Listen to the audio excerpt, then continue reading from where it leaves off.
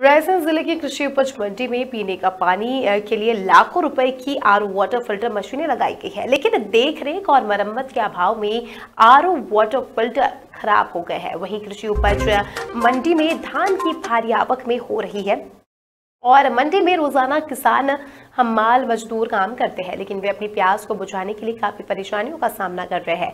मंडी की RO water filter खराब पड़ी हुई है। वहीं उपज मंडी सचिव कई बार आवेदन दे चुके हैं, लेकिन जिम्मेदार अपनी ज़िम्मेदारी से पल्ला झाड़ रहे हैं, जिससे उपज मंडी में पानी की समस्या बरकरार है। अब देखने वाली बात यह होगी कि जिम्मेदार कब कुंभकर्णी नींद से जाग कर आर वाटर फ़िल्टर की मरम्मत करवाते हैं, जिससे किसानों, हमाल और मजदूरों को प्यास बुझाने की समस्या से जूझना ना पड़े।